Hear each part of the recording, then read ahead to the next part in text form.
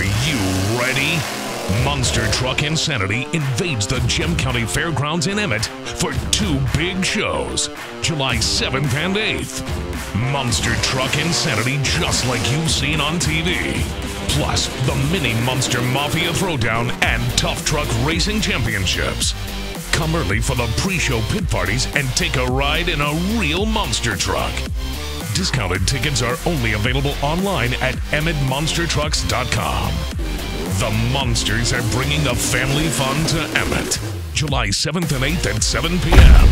Don't miss it.